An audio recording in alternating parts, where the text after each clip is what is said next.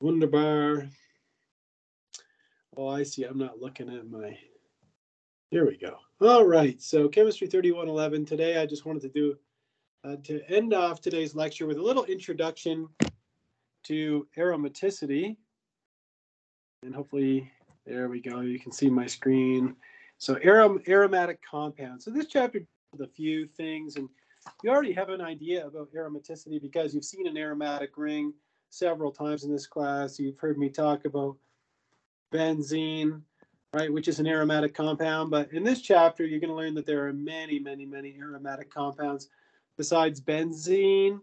And something I want you to know um, is that aromatic, you know, yeah, can it mean fragrant? Yes, I suppose, and I'll talk about that more later on. But when you think about an aromatic compound in organic chemistry, it means something that's very stable. Okay, it's going to be a very, very stable compound. So that's what we're thinking about in this chapter.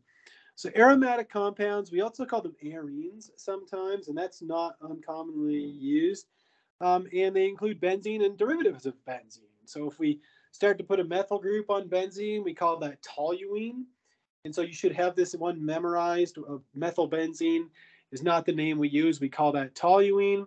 Um, similarly, if you have two methyl groups, um, we call that a xylene. And I'll talk more about xylenes later on. And the reason why aromatic compounds, um, where the word aromatic comes from, is that yes, the first derivatives of benzene did come from tree resins and things like that, and they probably were fragrant. However, now we know many aromatic compounds that have no odor, many aromatic compounds that smell terrible. Okay. And so, aromatic, again, just to put this bug in your ear, what we're referring to is rings that are very stable. There's an inherent stability with an aromatic ring. So, aromatic rings, if you've ever looked at the structure of prescription drugs or illegal drugs, okay, you'll find that aromatic rings are everywhere in these kinds of compounds. And you might even recognize a few compounds here, maybe, maybe yes, maybe no. Um, uh, Lipitor, I'm, you know, relatively confident that nobody in the room or nobody online is taking Lipitor, but that's an, a platelet inhibitor. So if you know anybody who has cardiovascular problems, they might have been prescribed Lipitor, um, Zyprexa. So this is a benzodiazepine, which is in the same class of uh, compounds as things like Ativan and Rivotril. Um, so it's an or Xanax. It's an anxiolytic. Um, what else? What else is on here? So Prilosec. So this is a um, uh, you can buy Losec or omeprazole down at uh, Costco by the metric ton. It's used for um, um, um, what would it be? Um, gastric reflux disease. And you can see that this compound here, Prevacid, is pretty close in its structure and it's used for the same thing. And Plavix is another platelet inhibitor and it's got an aromatic ring in it. Just to let you know, I worked for the company that developed Lipitor and Plavix. I worked for them for a number of years. Anyhow, something kind of interesting there. Um, and another place that you would find aromatic compounds would be in fuels like coal. Okay, and if you've ever used coal, coal to heat your house or something, you know, it looks like this, just this uh, boring, you know, you know, kind of monochromatic, you know, solid here. But um, coal is made out of a whole variety of aromatic rings, really, that are just fused together. And you can see there's other atoms in here. We have a disulfide here. We have an amide here. But by and large, what do we see mostly is aromatic rings. So that's something that's kind of interesting there. And now we're going to switch gears and get into the nomenclature of benzene derivatives, okay? And so if you just put a substituent on an aromatic ring, uh, that all you have to do is name the substituent and follow it up by the word benzene. There's a few exceptions to that, which we're going to look at in a second. For example, you'd call this chlorobenzene, nitrobenzene, ethylbenzene. Um, but some substituents come with common names, and you have to have all of these ones memorized okay? So we're going to put here, memorize, memorize all of these, all right? So if you have methylbenzene, we don't call it that, we call it toluene. We don't call this hydroxybenzene, we call it phenol. We don't call this methoxybenzene, we call it anisole. We don't call this aminobenzene, we call it aniline. We don't call this carboxybenzene, we call it benzoic acid. We don't call this um, benzene carbaldehyde. We call it benzaldehyde, uh, acetophenone, and then finally uh, styrene. And if you're wondering, is that related to styrofoam? Yeah, partially. Uh, and we could talk about that later on in the class. Okay, so toluene, phenol, anisole, aniline, benzoic acid, benzaldehyde, acetophenone, and styrene. You need to memorize the names of all of these. There's another one that uh, it doesn't ask you to memorize in our book, but it comes up a lot later on, and it's isopropyl benzene. So isopropyl benzene has a common name, which is cumene. And the only reason I bring that up is it comes up, it seems like Avogadro's number of times in this textbook. Okay. So, um, you know, an aromatic ring, um, it can take a while to draw. So we have a shorthand for that, which I'm going to get into a second. But remember, if you have an aromatic ring as a substituent, then it's called a phenyl, right? You have methyl, ethyl, propyl, isopropyl, butyl, tert-butyl, secbutyl, isobutyl, and phenyl. Phenyl is a substituent. Don't mix up phenyl with phenol, right? Those are two different things. A phenyl is an aromatic ring that's considered a substituent. Phenol, right, which we just saw a couple of slides ago, that's an alcohol, phenol, okay? So phenol and phenyl, two very different things. Something that you're never going to see me do is represent an aromatic ring with a phi. Okay, I will never ever do that. I don't like that. But you'll see me represent it as Ph like this all the time, not to be confused with pH, right? pH is equal to negative log of the concentration of hydronium. This lowercase and uppercase. This is uppercase and lowercase, right? It's something completely different. Anyhow, so there you go. Another thing I just noticed in my notes here, sometimes if you're studying for like an MCAT or something, they do this thing where um, for a phenyl, they'll write C6H5 is is just another way of, of writing it because that's the formula of the phenyl is C6H5. Anyhow, I probably won't use that either. Okay, if you have a dimethylbenzene, we call that a xylene. There's three possibilities. You can have the groups being one, two, like right next to each other. We call that orthoxylene. If they're one, three, with respect to their uh, substitution, we call that metaxylene.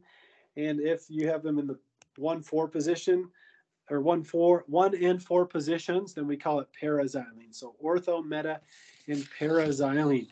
All right, and ortho, meta, and para, these prefixes can be used for di-substituted benzene rings. Remember, what does di mean? Di, it means two. Two. You, if you have two substituents on a ring, we can use ortho, meta, and para. You can see some examples here.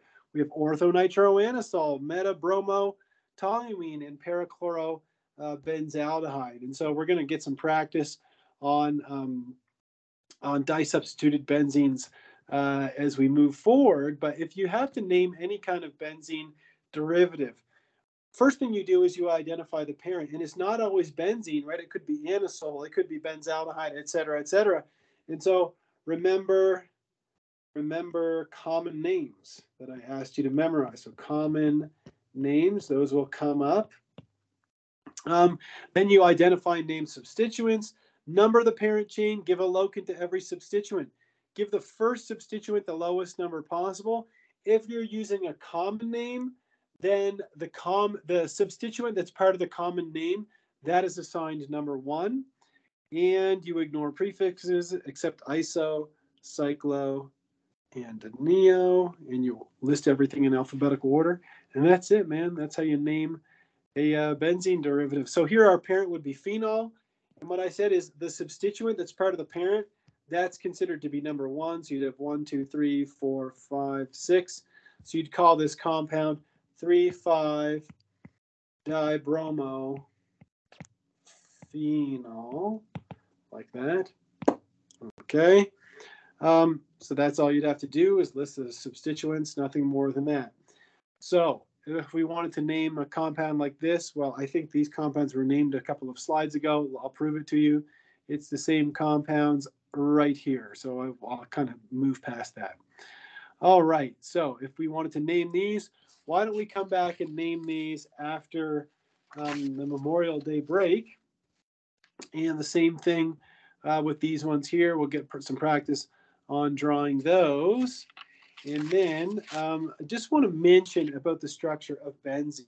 Okay, scientists knew the formula of benzene, which is C6H6. They had all kinds of different, you know, structures proposed that were incorrect, and some of the proposed structures were really wacky. Um, you know, at least they're wacky nowadays. I have a couple of them drawn in my notes. Like one of them was something like this, where you had two cyclopropanes fused together in a box like this. Another one had, you know, two, you know, two um, rings fused together like this. Another one had something like this. Okay, but none of these were, were correct. There was problems with all of these proposed structures. And Kekulé had this famous dream where he dreamt of a snake consuming itself by a ta- by its tail, and then he said, "Well, you know, I think it's actually a, a cyclic compound," and he was right. And uh, yeah, he's the one who proposed the correct structure of benzene, which of course we know exists in these two resonance forms. So remember, it's not like the pi bonds are vibrating around the ring or anything. They're delocalized over the entire molecule. And that's why sometimes people draw benzene like this, right? They'll just say, uh, they'll draw a, a, a six-membered ring and they'll say, well, all of those electrons are delocalized. You'll probably never see me draw that. Okay? I don't, I don't like that. And the reason I don't use this a whole lot is because when you're teaching the subject, it's not really useful.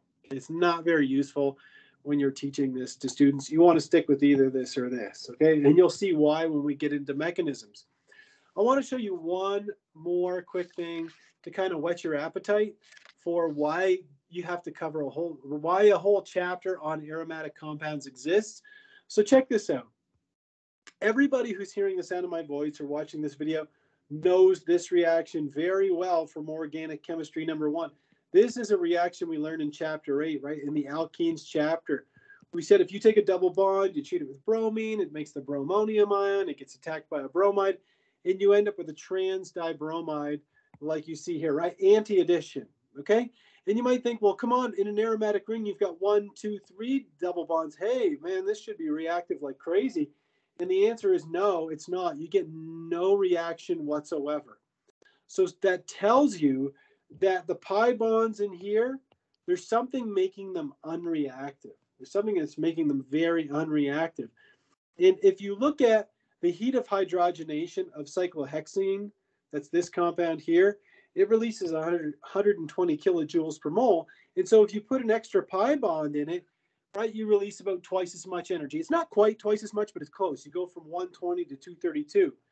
So then if you had a theoretical compound, okay, so this compound, the reason it's drawn in red, and if you're going, well, that's benzene, no, they're imagining a theoretical compound called 135 cyclohexatriene, which doesn't exist. I agree. Okay. But they'd say, well, if you hydrogenate that, you just go from 120 to 230 and then to around 360, right? Shouldn't you? Well, what happens is when you hydrogenate benzene, you only release 208 kilojoules per mole of energy. So what does that tell you? It tells you that there's this really big stabilization factor with having those three pi bonds in conjugation in that six membered ring.